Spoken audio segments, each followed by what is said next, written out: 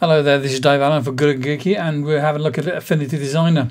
In the previous two videos looking at Affinity Designer and Affinity Photo we looked at ways of cutting into this text to give a shape that is going to go in between the top layer of the letters, the swing and the bit underneath where it says music.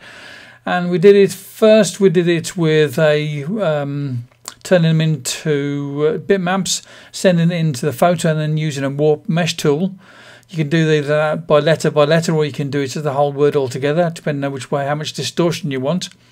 And then the other way to do this was to use the um, Boolean tools where you're using the add-in or subtraction. And in that case, we were using a subtraction where we were cutting bits from the letters. Now another way to do this would be to use the node editing tool and with the node editing tool the good thing about it is that you stay completely vector because you don't send it off to make a mess with it with the warp editing tool. And it's uh, always going to have the sort of good sharp edges as you get with vectors. It's also uh, possible to like, you can, so it doesn't just subtract, it doesn't just add, it's uh, a little bit of both and it's a bit more purposeful in the way that it works with these text, uh, le these letters where we're going to change the shapes of them. So let's just get into this and uh, see what we're going to do. First of all, what I'll do with this is got this one um, swing music as one piece of text. And what I want to do is I want to change that so that it is going to be convert to curves. So, so converted into curves. It's no longer uh, text anymore, okay? And it's uh, still grouped up, so we're going to ungroup that and now it's going to be all in separate letters. Now what I want to do with this here is I want to get this uh, layer, this uh, music sort of thing, I want to just move it up a little bit further. So I'm going to hold my shift key, move it up and have it a little bit closer. And I'm going to use the same line as the guide for the top section as I do for the uh, bottom section, okay? And another thing that we can do with this here to make it a bit easier to work with is we can go to our view and turn it into the wireframe view. So let's uh, start by working on this S. Okay, so let's move in closer so we can see it a bit better. And we've got it selected with the ordinary selection tool over here, the move tool. And now we're going to use the node tool. So I've got the node tool selected. Now when I get closer to the line there, you can see that it gives me a little sort of um, marker to show where the node's going to be. If I want to put a node in there, and I've just got to tap on it once and I've turned it into a node. And there, I want to put a node down the line over there. Now one way of doing this here is be to just get there and just delete it.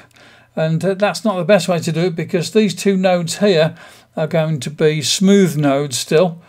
Um, I suppose we could do that way, so let's just do this way. So we'll uh, select those two nodes there and then what we have to do is we turn those nodes into sharp nodes. And so we've got a straight line in between the two now. And then what I'll do is I'll put a node in the middle of that there and I'm going to turn that into a smooth node.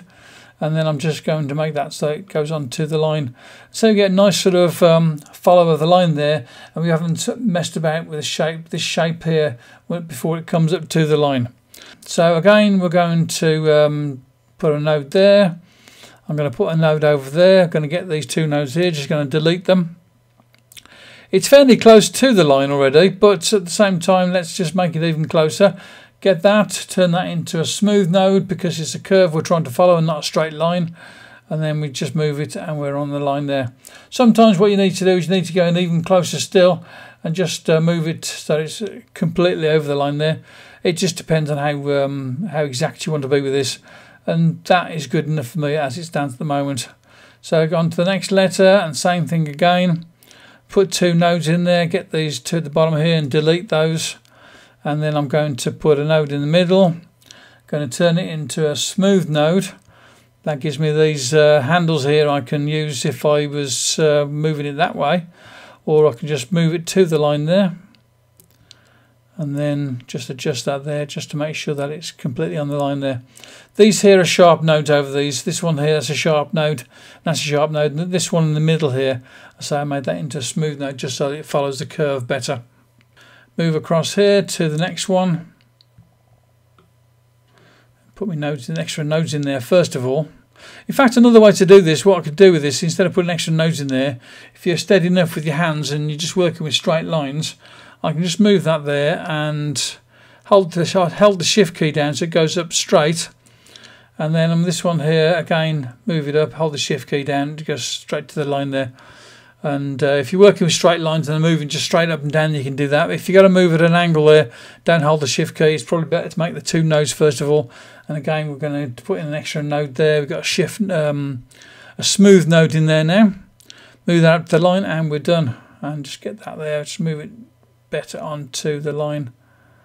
I'm using a trackpad here. It's my preferred way of doing it Of course, if you were doing it in the um, iPad version of this uh, application, you could even get um, using your Apple Pencil to do it. So again, we're going to just do uh, this easy way of doing it with the extra nodes in there. First of all, delete those. That's good enough. Don't need to do anything that. Now back onto doing a curve one. Let's just uh, show you again with the curve one. So I'm going to select the curve. It's not letting me select this one here. Sometimes that happens. What you have to do is you have to select your um, uh, move tool, select the, uh, the letter. Maybe you have to come out a bit. Oh, that's weird. It's not letting me select the G. I don't know why that is. Okay, now I've got the G. Sometimes you have to go to a particular place within the letter to be able to do it. Now I can go to the node editing tool. And that's handy because I've got some nodes that are really quite close to the line already. So I'm not going to actually uh, put extra nodes in there.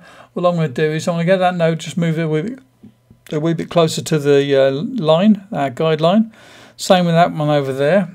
Then I'm going to get these two here and turn them into sharps. And there you go, turn into sharps. And then I can move this here and put it onto the line.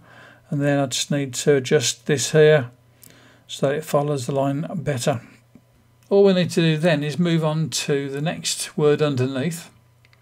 So with this one here, let's uh, get to our move tool. Let's get our uh, um, align. And I'm going to bring this down just a wee bit. I won't have that much a gap in between. Okay, so I'm going to use the shift key so it comes down straight below it. Then I'm going to go to back to selecting uh, the word music. Let's do it with a marquee select. Get all of that word there. I'm using the uh, up arrow on the keyboard to move it up and I'm just going to move it up so that the uh, M and the C are in the right place where I want it to cut. Now on this one here what I have to do instead of um, cutting away I'm going to have to actually sort of make these uh, letters a little bit bigger and that's no problem we can do that really easily. Let's uh, get and work with this M first of all so let's zoom a bit closer into this here and the first thing I'm going to do is go to the node editing tool, editing tool um, I'm going to just move this down here manually. I think I do that safe enough without uh, messing it up. And then this one here, move that up. And I could put another node in the middle of that, but I'm not going to bother. I think it's good enough. This one here is going straight up, so I'm going to move that up. Uh, got my right, got my uh, right click tool there, so let me just try that again. So I'm moving it up and putting it on the line. I could do this one here uh, I'll just do this one manually. I'll move this one up here and put it onto the line. And again, that's uh, good enough. Same thing's going to work with this one over here. I'm going to move this straight up and put it onto the line. Move this one straight up, put it onto the line. Again, it's uh, good enough. If we're getting close, you can see there's a bit of a, a bit of a gap there. Let's just make it perfect. Put it onto the line there. Put a node into the middle to make it follow the curve. And then I've got to convert that into a, a uh, smoothie and put it onto the line and then this one over here again because I was working with it further out I can just see there I didn't get it quite right. And actually as I was moving it there because I was close to the edge there it actually moved a little bit to the right there as well but I'm not going to worry about that for the moment okay? Because this is just a demonstration video. With this one over here this side here I could get these two together and I've got them both selected and hold the shift key and move it straight up and put it onto line and move in a bit closer so I can see it a bit better. Now I'll just adjust it um, node by node and put that there. And for this purpose it's close enough but we could put a node in the middle if we wanted to. Now with this one over here with our S now I think the best way to deal with this one here because it's nowhere near to the line is probably if I make the uh, letter a little bit bigger. You have to work it out for yourself really when you're doing this. You could just leave it as is so it's completely under doesn't get cut at all. Or what you could do is you could get your um, selection tool here and then just um, bring it up like that. So I've just uh, made the letter taller. I've kind of distorted it and then go into your node editing tool. So I'll put a node over there on the line, put a node over there on the line. I've got to turn those into uh, sharp nodes, those two there. Didn't get it. Let me just try again. Select it. Hold down the shift key so I could select the other one separately, convert it into a sharp. And then this one here is already a um, smooth one. So all I've got to do with this is to bring it down onto the line and then adjust these handles. Bring the handles down there and bring this down better to the line there. That's the thing when you're getting closer to this you can see a bit more about how close you are to the line. Okay, so that was the S dealt with there. Let's zoom out of that now. So that is how you do that, where you're working with the text and you want to add a bit here and take a bit off there and you don't want to sort of do it with the uh, mesh tool in uh, Affinity Photo and you'd rather keep it all as uh, vector drawing. So once you've got that as vector drawing then you can go back into your pixel view mode or your retina pixel view mode. We'll go to the retina pixel view mode. Go back to the radius, change that up so that it's a nice yellow. It's a bit gruesome that, but it's a complementary colour so we're not worried about it too much. Let's just turn the, tone that yellow down a little bit, all right? And make it more of a mustard sort of colour. That's better.